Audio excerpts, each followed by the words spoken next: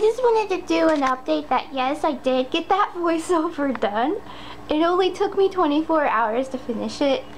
And it's just like, it's funny because I was just like whining and complaining about how much I didn't feel like doing it. And the reason why I didn't feel like doing it is because it was really late at night and I was exhausted. I was so tired. But I went to sleep and finished the rest of it the next day and I got it done within like two hours.